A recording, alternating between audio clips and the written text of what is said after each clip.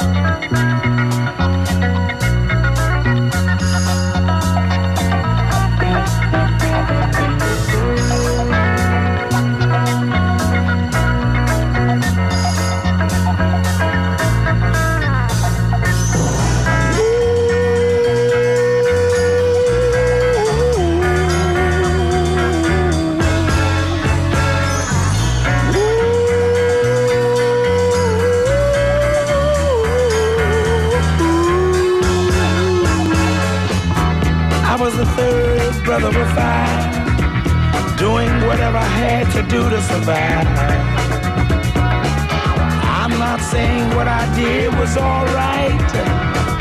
Trying to break out of the ghetto was a day-to-day fight. Being down so long, getting up didn't cross my mind. But I knew there was a better way of life, and I was just trying to find. You don't know what you do till you put under pressure. Cross 110th Street is a hell of a tester. Across 100.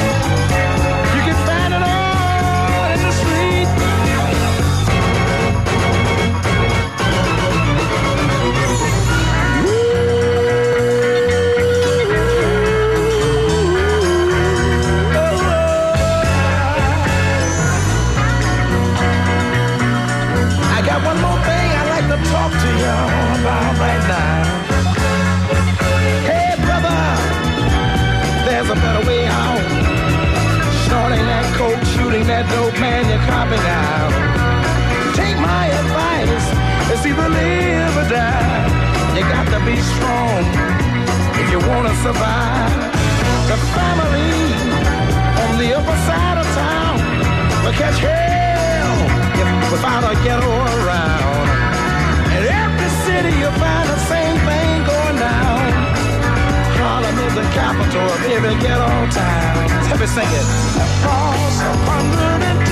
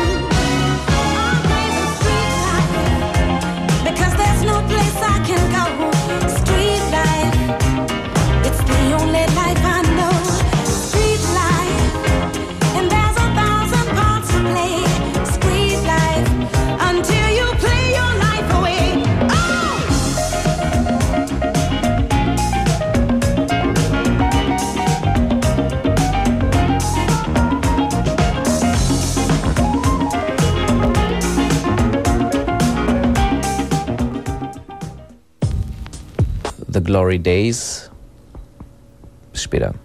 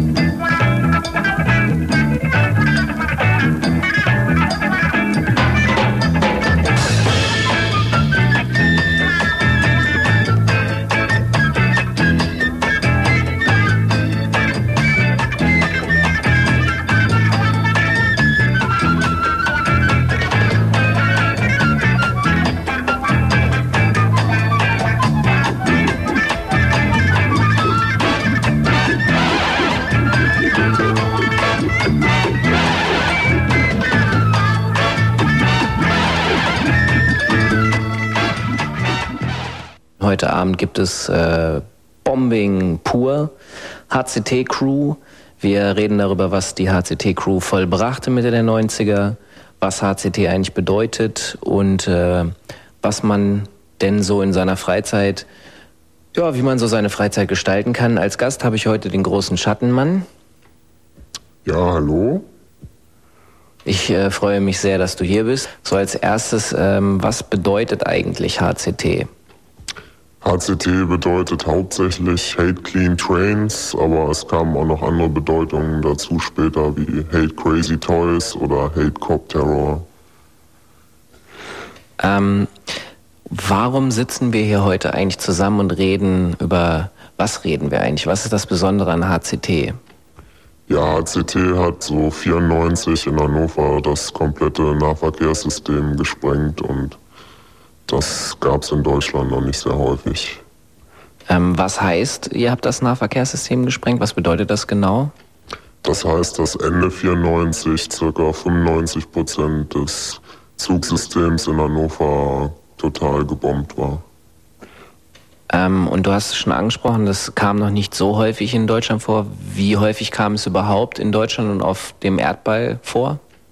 Also in Deutschland war es vor Hannover eigentlich nur in Dortmund so und äh, sonst in New York halt und Amsterdam. Ähm, wenn man da mal von Zahlen spricht, äh, wie viele Züge in jeder einzelnen Stadt mussten gebombt werden, damit das erreicht wird, dass das System gesprengt wird? Also New York hat natürlich das mit Abstand größte System, knapp 8000 Waggons. Ähm, Amsterdam sind nur knapp 50 und Dortmund so 80 bis 100. In Hannover waren es über 350 Waggons, also ein recht großes System. Ähm, um, um die Dimensionen auch mal begreiflich zu machen, kannst du äh, erläutern, wie viel Menschen äh, ungefähr das in New York, in Amsterdam und in Dortmund und in Hannover waren, die diese Züge gebombt haben? Also in New York waren es Tausende, in Amsterdam waren es meist reisende Writer aus ganz Europa und in Dortmund und Hannover eher eine Handvoll Leute. Um das hinzubekommen, wie lange hat das eigentlich gedauert? Also es ging Ende 93 los und ab Mitte 94 war schon weit über 50 Prozent der Züge gebombt und gegen Ende 94 war dann eigentlich der Höhepunkt erreicht und Die sind dann teilweise noch bis zu drei Jahre gefahren, bis sie nachgekommen sind mit dem Putzen. So. In dieser Zeit habt ihr sicherlich auch Bekanntschaft mit dem langen Arm des Gesetzes gemacht. Ähm, wie, was gibt es da für Erlebnisse zu berichten? Ja, also gegen Ende 94 gab es eigentlich kein Mal mehr, wo wir nicht laufen mussten am Schluss, wo nicht irgendwie Bullen kamen oder so. Also es war schon extrem, aber sie waren immer einen Schritt hinterher. Also äh, du würdest schon sagen, dass es einige Mitglieder der grün berittenen äh, Polizeieinsatz Bundesgrenzschutzstreifen gab, die äh, unheimlich scharf darauf waren, euch zu bekommen. Ja, ich hoffe mal. Also äh, es war so, dass äh, einige Leute damals gedacht haben, okay, äh, die Dortmunder haben jetzt ihr System gecrushed, die Hannoveraner haben das auch gemacht. Eigentlich müsste jetzt bundesweit jeder Writer äh, ins Yard gehen und Bock bekommen haben, sein System zu sprengen. Es ist aber nicht passiert. Warum glaubst du, ist es nicht passiert? Ja, erstmal sind nicht allzu viele dazu in der Lage oder haben Lust da, das Risiko auf sich zu nehmen. Und zweitens malen heute viele nur noch für ein Foto, mal ein schönes Style-Panel, was überhaupt nicht fährt, nur um ein Foto zu haben, es an ein Magazin zu verschicken und dadurch Fame zu kriegen. Und der ursprüngliche Gedanke, der hinter Graffiti steht, dass hinter Zügen steht, dass die Züge fahren und dass äh, man sie sich angucken kann, der ist halt verloren gegangen. Wir sind früher auch noch rumgereist in andere Städte, um äh, Züge anzugucken gucken und zu fotografieren und das passiert heute auch gar nicht mehr. Da gibt es nur noch Magazine und da kann keiner sehen, ob der Zug gefahren ist oder ob er in irgendeinem Trash-Train-Yard stand. Das ist so die Entwicklung. Also, dass eure Züge gefahren sind, äh, ist definitiv so, weil mir ist es damals auch extrem aufgefallen, dass auf jedem verschissenen Zug in Hannover HCT stand. Und äh, das Ganze ist ja jetzt auch noch in einem äh, Video dokumentiert, das äh, The Glory Days heißt. Da kann man auf jeden Fall Züge von der HCT-Crew sehen. Ähm, was äh, kann man denn zu dem Video sagen? Was sieht man da für Züge hauptsächlich? Also ist zum Beispiel ein Whole Train drin und so. Ja, also in dem Video sieht man eigentlich gut, wie es damals in Hannover aussah. Es sind auch äh, sehr viele gebombte Züge drin, sind auch ein paar Highlights drin, wie ein Whole Train, Window Down Whole Train und ein paar Wholcars. Leider nicht sehr viele Wholcars, weil viel Material auch verloren gegangen ist im Laufe der Jahre, aber es sind sehr gute Sachen dabei auf jeden Fall.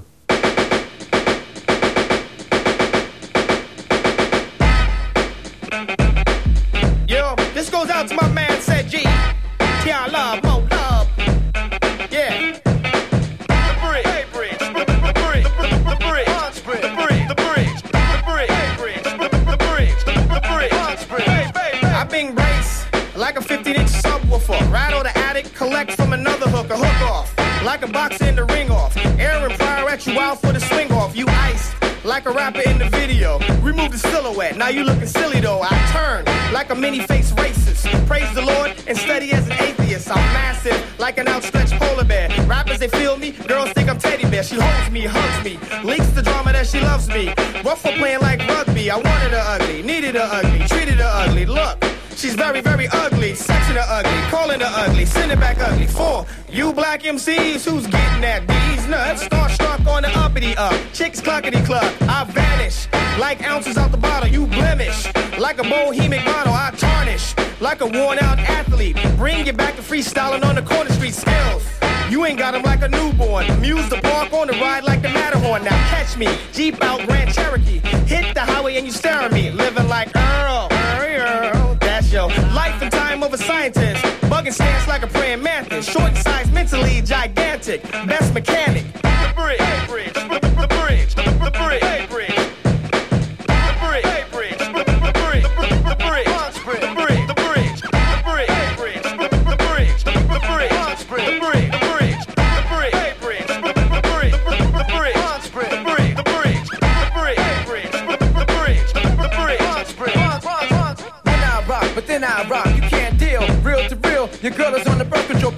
Open them up, open them up. Catch it like a colon cleaner. Pour soap in your cup. The nicest, nicest. Rolling the dice. Is chasing the mice. Leaving no prices. Shows for the books